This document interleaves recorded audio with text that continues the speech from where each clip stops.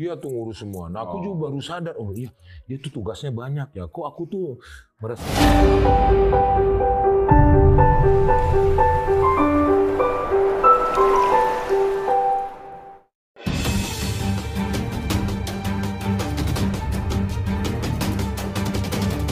Sule terindikasi memberikan sinyal restu hubungan sang mantan istri Natalie Holzer dengan Franz Faisal. Sule memandang ibu sambung Rizky Febian, Putri Delina, Rizwan Fadilah, dan Ferdinand Sule ini merupakan sosok perempuan hebat yang kini berjuang seorang diri. Mantan suami Lina Jubaida ini mempersilahkan Natalie Holzer untuk dekat dengan pria lain dan itu tak masalah. Ternyata kabar Natali dijodohkan dengan Franz Faisal telah sampai ke telinga Sule.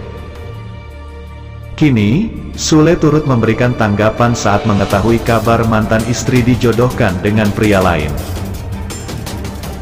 Baru-baru ini ramai dikabarkan Natalie Holzer dan Franz Faisal diisukan menjalin kedekatan. Isu kedekatan keduanya muncul setelah Natalie Holzer dan Franz Faisal terlibat sejumlah konten bersama. Kini, Sule mendengar kabar tersebut. Lalu bagaimana reaksi Sule? Apakah sang komedian cemburu?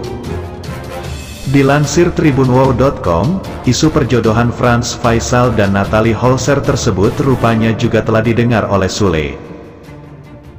Ternyata reaksi Sule tahu kabar tersebut santai. Sang komedian itu mengaku tak keberatan jika Natalie kini dekat dengan pria lain. Sule pun memuji kepribadian Natalie yang pernah dua tahun menikah dengannya.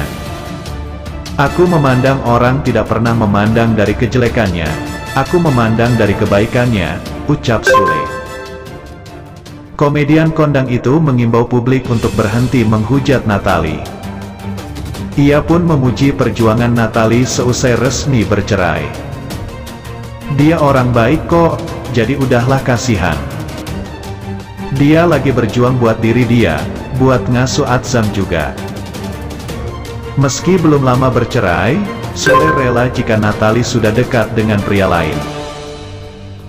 Kalau dibilang dekat sama siapa pun biarkan saja, enggak apa-apa tandasnya. Selanjutnya, Yuk kita simak kembali berita terbaru yang kedua. Rumah tangga komedian Sule dan Natalis Holzer akhirnya berakhir di meja perceraian.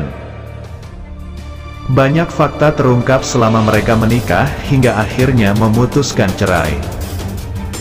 Pasangan ini telah dikaruniai seorang anak laki-laki kini baru berusia 6 bulan.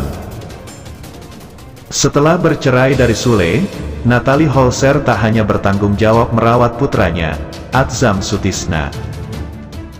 Ia juga merawat kedua adiknya Tasya dan Nadia.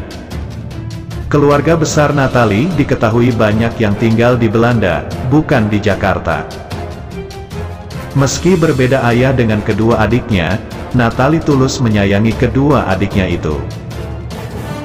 Ia juga berharap Apabila nantinya menikah lagi, sang calon suami bersedia menerima kedua adiknya juga.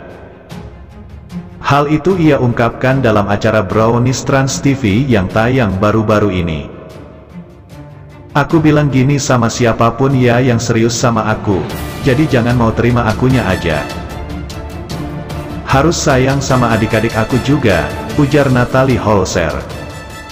Natalie Holzer menyebut dirinya merupakan janda dengan beberapa anak.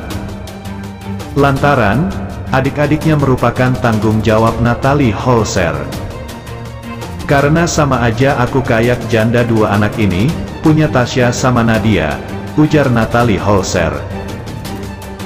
Sementara itu, Nadia Holzer yang turut hadir dalam acara Brownies itu memuji sosok sang kakak.